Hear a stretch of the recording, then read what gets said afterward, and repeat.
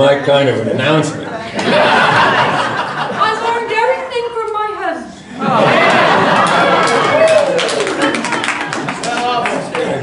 It's not entirely true.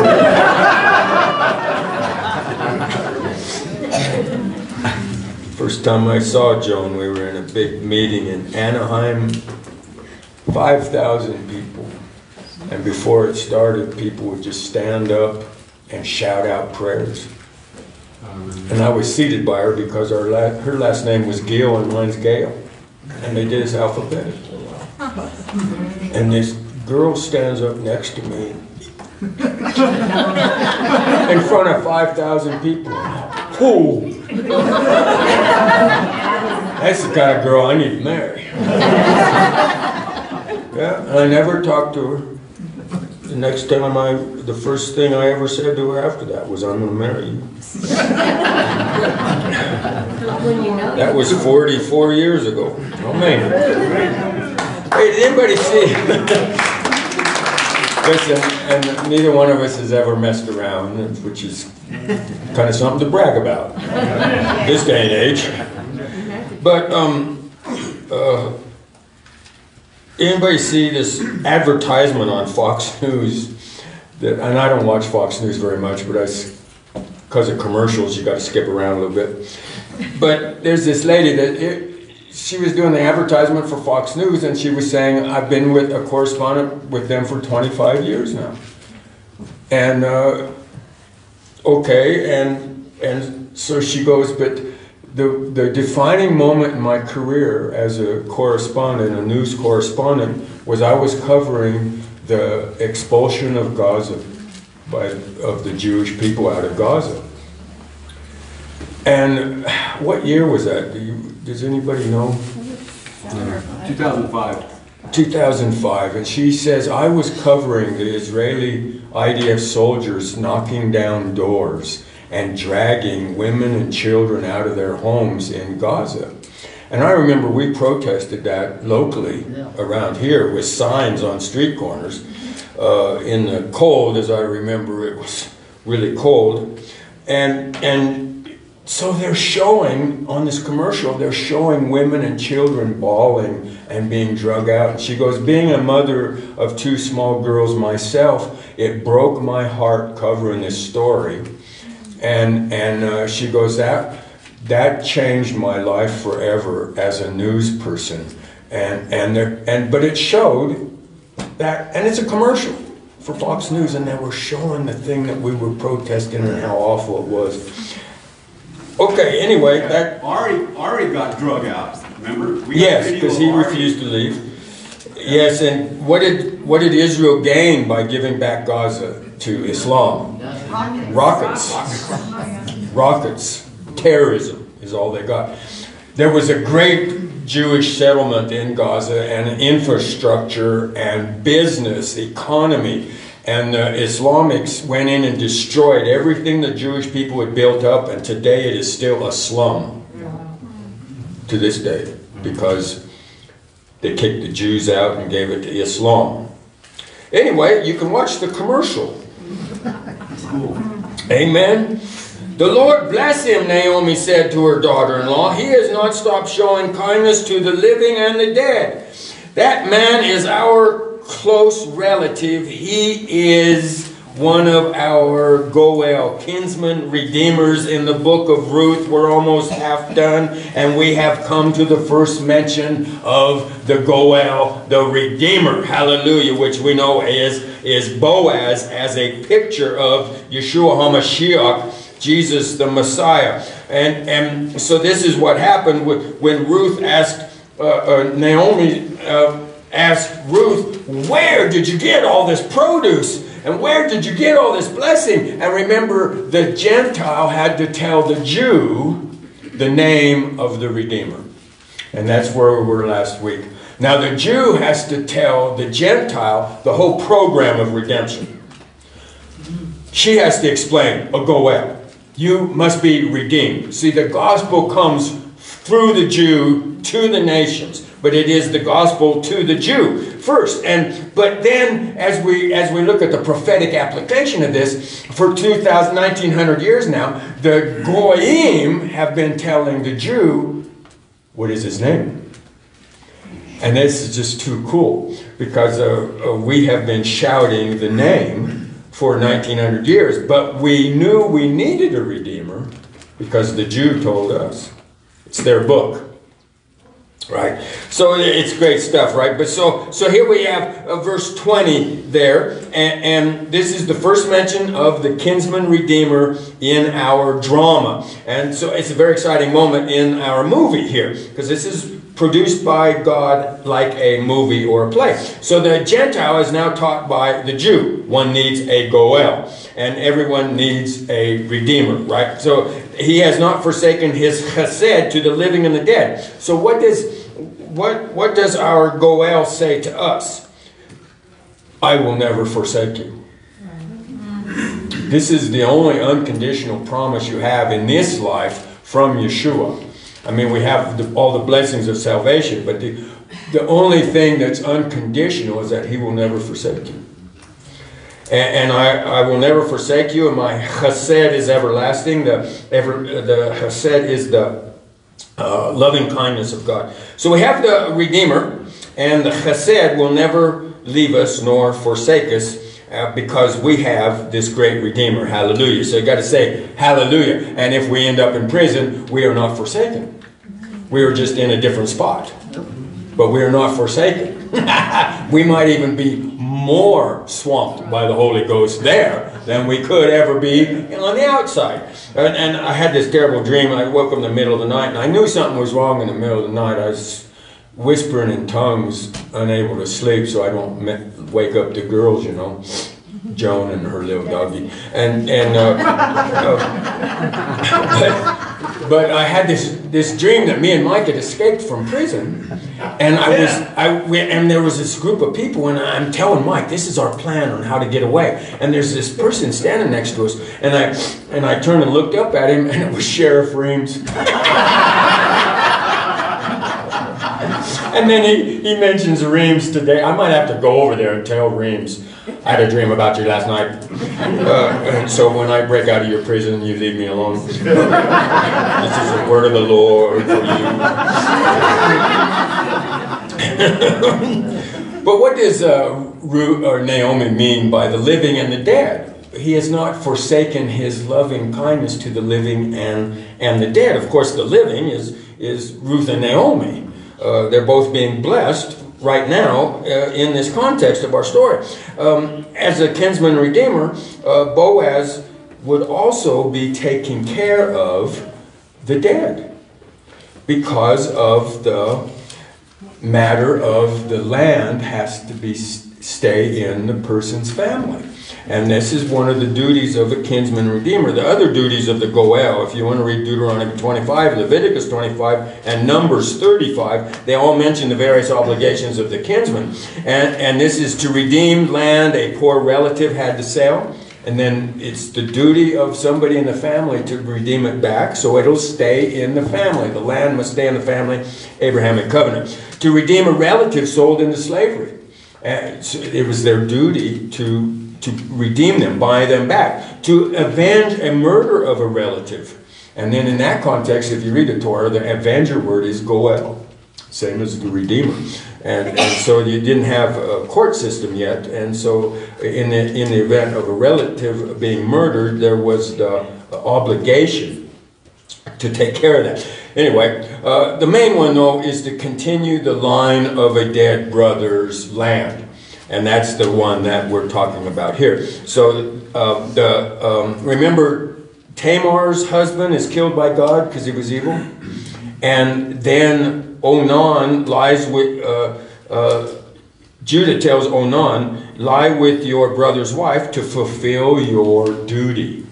And, and then to produce offspring for your brother. And of course, then he died too, and so then Judah didn't do anything else, and so Tamar had to, you know, do what she did. But it was to keep the land in the family. It was a duty. In Deuteronomy 25 5, it says, The widow must not marry outside the family. Her husband's brother must fulfill his duty. The first son she has shall carry on the dead brother's name, so that his name will not be blotted out from Israel. This is the law of Torah at that time. The law is the duty to continue the family line. And you know how important this was all through the Bible days.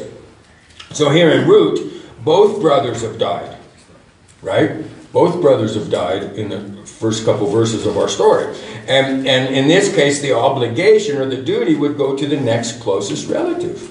And, and that's where we're headed here. Eh, um, when Naomi says living and the dead, this is what she was talking about keeping the land in the dead brother's um, lineage would be taking care of the dead. And so here we have the first indication as, of what's coming up later. But anyway, interesting note on Deuteronomy 25.10. If a brother refused his duty, the family would be known, and this is capitalized in the NIV, the family of the unsandaled would be that family would be known as that. Because if somebody refuses to do his duty to, to the widow, she was to take her sandal off and throw it in his face. And other things, if you want to read that verse. Okay, uh, now verse 21 is more blessing from the um, kindness then Ruth the Moabite said, He even said to me, Stay with my workers until they finish harvesting all the grain. And Naomi said to Ruth, her daughter in law, It would be good for you, my daughter, to go with his girls because in someone else's fields you might be harmed. Okay, so more blessing, more kindness from the Goel. Stay with my workers for the duration of the harvest, all the grain. Remember, we are at Pesach, we're at the beginning of the barley harvest here. Um, and But Boaz is taking Ruth under his wings clear to the end of the Shavuot harvest, which would be the wheat. So what we have here is both harvests. We're talking about uh, at least two months worth of time here that he's saying, stay in my field. And, and then the next verse there, it says barley and wheat. So this was the uh, him, he is taking care of them for this whole extended time. Now to us, you can make this, uh, how does Yeshua take care of us? He saves us at Passover, and he takes us clear to Shavuot. In his first coming, he fulfilled Shavuot with the giving of the Holy Spirit. So Messiah has given us these two months worth of fulfillments of prophecy by the Messiah's work. He, he dies at Passover, he's buried on unleavened bread, he raised on the Feast of First Fruits, and then pours his Spirit out at Shavuot. That's the two months that Boaz has already committed himself to Ruth and Naomi. Yeshua has already committed that to us experientially by the Holy Spirit. Okay, so we have a nice pattern here. Try to keep up. Naomi answers Ruth according to what she worried about way back in Moab. Remember back in chapter 1, verse 15, we, we had, uh, look, said Naomi, your sister-in-law is going back to her people and her gods. Go back with her. And, and this is when then uh, Ruth says, don't urge me to leave you anymore. But the reason he, she said go back is because you won't be safe in Israel.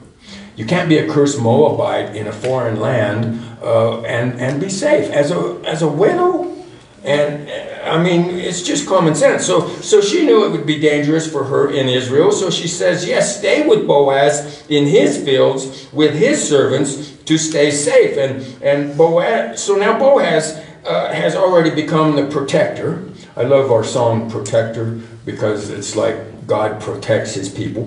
He's the protector. He's, he's now the provider. He was the comforter. Remember, he um, spoke comfort to her heart in the cafeteria, and that, that was the uh, Nachum word, the um, name for the Holy Spirit to us. And, and, now he's the Redeemer, of course, of the Moabite.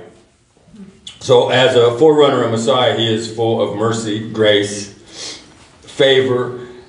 You guys just love these words. Our Messiah is full of mercy and grace and favor and compassion and love in our story here, there is never one hint of any condemnation. There is no question. There is just nothing but love and mercy and grace and favor to Ruth, who is a cursed Moabite. Wow, that's got to make you stand up and be happy. Okay, uh, complete salvation, and it is unconditional. The one who says to each of us, "Come near to me." Remember the Nagas word and not Ba was was what he said to her in the cafeteria. Nagas, come near to me.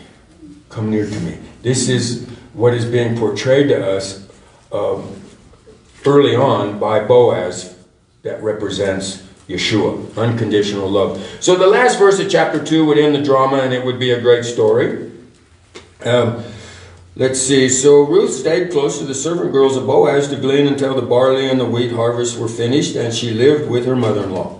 Ta-da! And the curtain falls on scene 2. Then we will open the curtain to scene 3 and, this is going to be great. We won't get there all today, but but uh, I'm so excited. I, I, keep wanting to jump ahead, but but um, th this is just the halfway mark in the drama. At this, and and so at this point, you would probably have intermission uh, in the theater, and you would go have oneg. You would go eat popcorn. And so at this time, we will now no. Um, so, so, but, be, but before the curtain rises again, and in the next scene, see, we're not going to be in the fields anymore. Uh, we're, we're going to be at the threshing floor. So we're, we're, we're just getting to the good part. I mean, I know you've been blessed already, and, and but hold, hold on to your seat. But before we do that, I wanted to visit uh, somebody else here, uh, since we have a little bit of time left today, that is uh, similar in story, and it has some application, as we will see, to our story. Um, and this is the story of Rahav, which you know is Rahab. And she lives just across the river from Moab. Moab. And so she's maybe even a relative of Ruth. Who knows? They're in shouting distance of each other. She lives in Jericho. Jericho. Who's been to Jericho? All of us have been to Jericho lots of times. It's kind of run by Islam now. There used to be a nice uh, fruit market there before it got bad. But she runs a uh, house of prostitution. So if we jump to a side scene here, we are now in the red light district. And why is it called a red light district?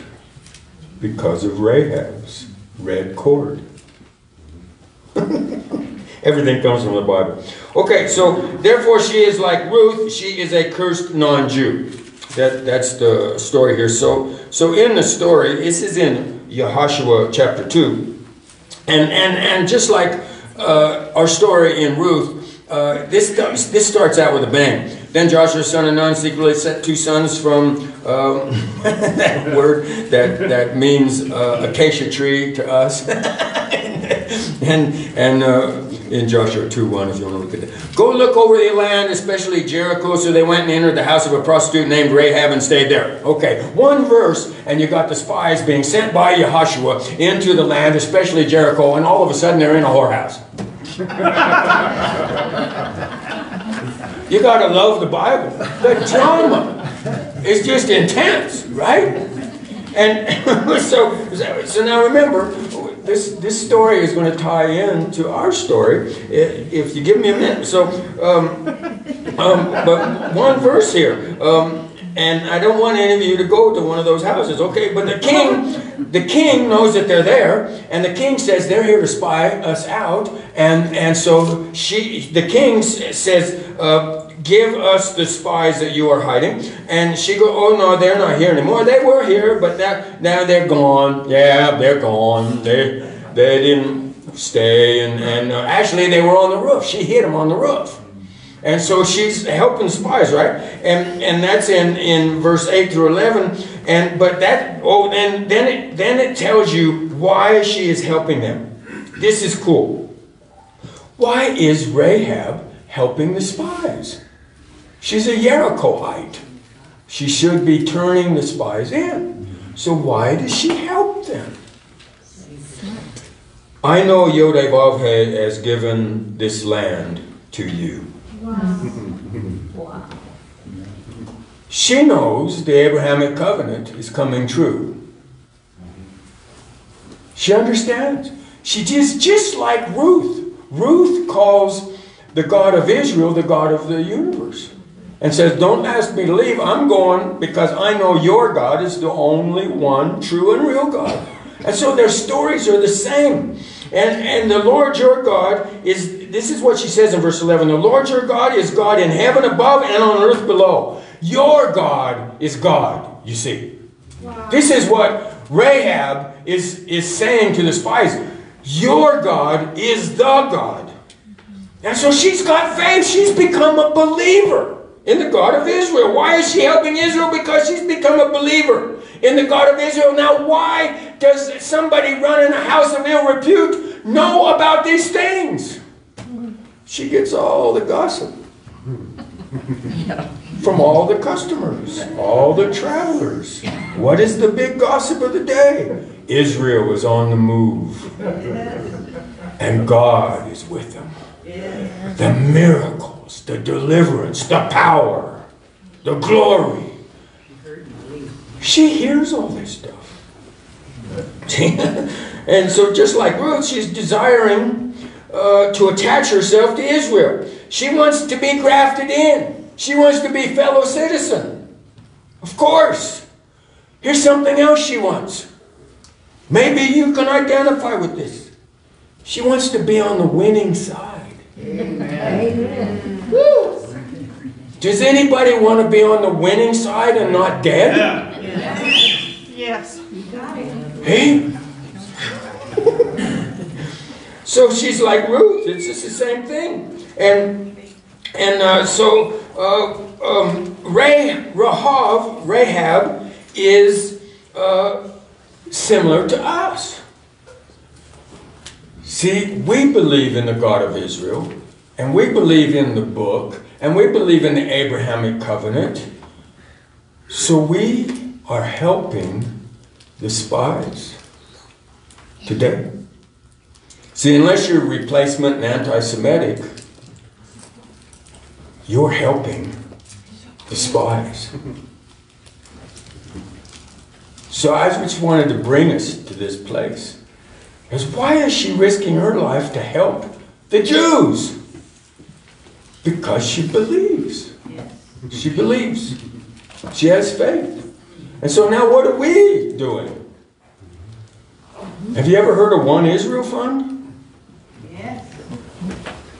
We give money to One Israel Fund to protect the settlers in the West Bank. We are Rahab. We're helping the Jews.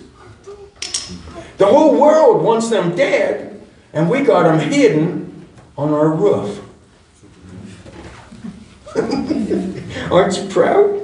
I mean, so now Rahab will end up in, in Hebrews chapter 11 in the hero's book of faith. You know, Hebrews 11 is the hero chapter. You know, Rahab is in there. She's a whore. She's in. She's in the hero's book chapter of our book, right? And so, but doesn't God know that she's a sinner? well, it's like I said about we're thinking about having uh, George Gray come here. He does the Elvis impersonation, sings the gospel songs. He's an evangelist and a prophet, and, and he's famous here in Greeley. But but some people don't like him because Elvis was a sinner, and I and I said, you know, I like him because Elvis was a sinner.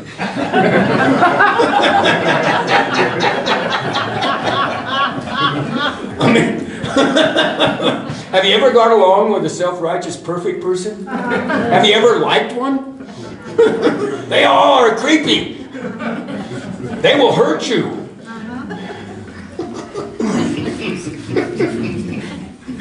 So Rahav, Sorry. Kavika used to always say, Yeah, we're always in trouble, just like Jesus. What did Jesus get in trouble for? He hung out with sinners.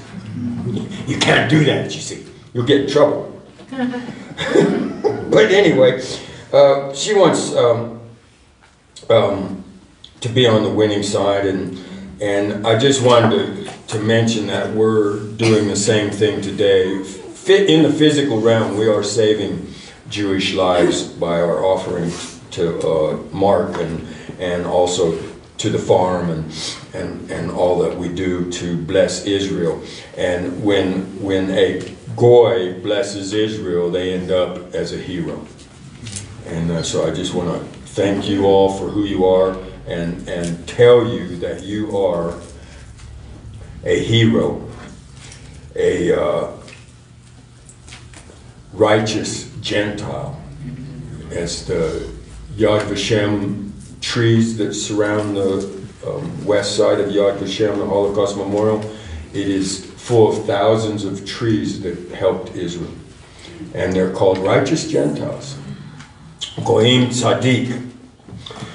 So, so uh, Rahab says to the spies, Swear to me by Hashem to show chesed because I have shown chesed, uh, loving kindness. Like Ruth and Naomi, then Boaz. The, the spies agree. Our lives were your lives. And then in verse 14, when the Lord gives us the land. So everybody is in agreement here. The Lord is giving the land to the Jews. Amen? And today, let me tell you, the land is going to be the Jews. It's not uh, conditional. The Lord has given them the land and they are going to get the land and then they will keep the land and we will be on the land as well because we have been with them and blessing them. Amen. So everybody fully believes Hashem is giving Israel the land and uh, what is in going on in Jericho is the fear of the Lord has taken the whole city. Everybody's scared of Israel. But as it reads in James somewhere, it says that only Rahab repented only Rahab believed, the rest of them perished because they would not repent. It's one thing to recognize there's a God in the Jew, and then there's another thing to repent.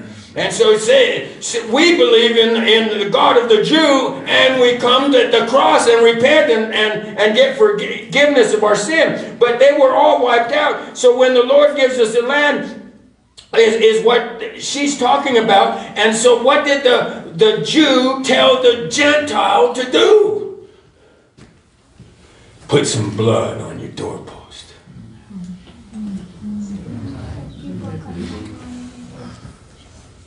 When God destroys Jericho, the only thing that will save you is some blood on your doorpost. Put a scarlet cord uh, on your window. And so this is just like the Passover, which we aren't very far removed from the Passover in, in the timeline here. So they said, we need to see the red. And so this, this is, but we're out of time. I've got to stop. Uh, but so this is what happens. She tells him that to escape. She, she helps him escape. She's still helping the Jews. What if she gets caught? She's still helping the Jews. And, and they get away and they go back and tell Joshua and they take the, the city and the walls come tumbling down. And, and, and then put yourself in Rahab's house and all of her family and her relatives there. And, and the city walls are down. The Israelites are coming in. They're being conquered, they're being slaughtered. And Rahab is like, she's surrounded by slaughter. Terrified. Can she trust the Jew? It doesn't look good. We're all going to die. And through the smoke and the, and the blood and the screams and the. She sees two Jews coming. And let me tell you, I'm saved by the Jews. And what were the Jews looking for? We're looking for the red. We're looking for the blood. Were they looking at her sin? No. We're just looking for the red. We gotta find the blood. And then there'll be life. Yahvarekaka Adonai v'yishmareka. Yeir Adonai panavaleka v'chunecha. Isa Adonai panavaleka v'yoseim leka shalom. Yeshua HaMashiach Shalom. Amen. Woo. We got the blood of the Lamb. And we got the life. The Lord bless you and keep you and make his face to shine upon you and to be gracious unto you and lift his countenance upon you and give you peace. In the name of the Prince of Peace, Jesus the Messiah. Amen and amen. Shabbat Shalom.